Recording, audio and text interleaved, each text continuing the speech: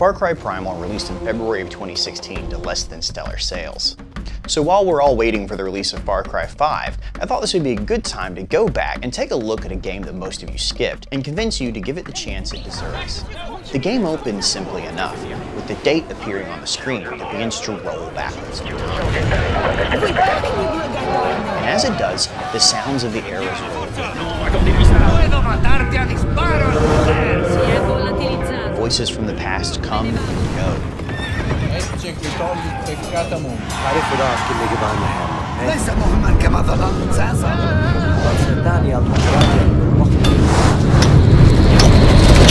Until all we're left with is silence. And that's really the heart of the game, a primordial world without the trappings of civilization.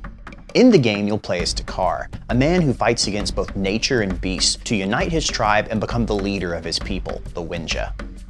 I say man, but it may not be the right word, because in the game, Takkar is a Cro-Magnon, a robust ancient ancestor of modern humans. And Primal is set in a world inhabited by more than one type of human. You'll encounter flesh-eating Neanderthals called Udam, and anatomically modern humans wearing blue paint called the Azila. And that's really my biggest historical problem with Far Cry Primal. By 10,000 years ago, only modern humans were left. Luckily, there's an easy fix. Suddenly, you're thrown into a world where humans are meat. You'll be hunted day and night, and forced to huddle next to fires to keep the predators away in the darkness. But that doesn't mean you'll be a pushover.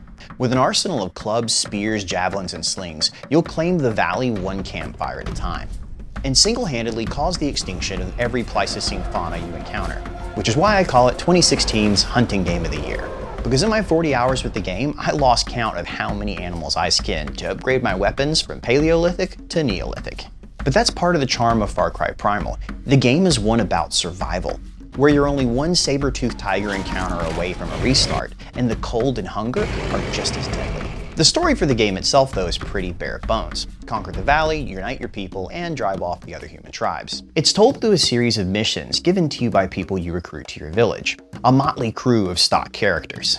The shaman, the hunter, the gatherer, the warrior, and even the comedic relief.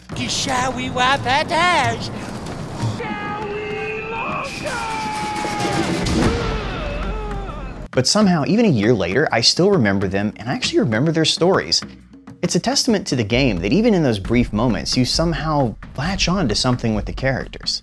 And I think it's because you all share a common goal in the game, building a new life, a new village, a home for the Wenja. A village tucked into caves, decorated by wall paintings that tell the stories of your exploits. You can almost smell the smoke and sweat that permeates the world. That's not to say the game isn't without its faults. The map is clearly recycled from Far Cry 4, as are nearly all the animals you'll encounter, except maybe with a little more fur this time. And while the game prides itself on giving you options for every encounter, the boss fights are tedious health bar grinds that go on for far too long, with simple patterns that have to be repeated over and over again. Primal feels like it was meant to be like the game Far Cry Blood Dragon, a $20 adventure DLC set in the same world, but somewhere along the line, Ubisoft decided to pad the game out, and it just feels stretched too thin, especially at a $60 price tag. But luckily now, you can pretty much pick it up everywhere for only 20, and at that price, it's a steal. Riding through the jungle on the back of your saber-toothed tiger, hunting down herds of mammoth, and sicking your pet bear on anyone foolish enough to stand in your way. Ubisoft dared to set their game in a unique era, and because of that, it feels different. Prehistory is called that for a reason. We just don't know what happened there. Far Cry Primal instead gives you the feeling of a bygone world, teeming with life where humans scrape by for existence, fighting each other for dominance. It makes it so you can't wait to go over the next hill or climb the next glacier, and explore places your ancestors may have tread, something Ubisoft excels at. Far Cry Primal regularly goes on sale for $20, so pick it up now. You won't regret it. Thanks for watching. If you like this review, make sure to click subscribe. I try to update weekly with games and stories inspired by history.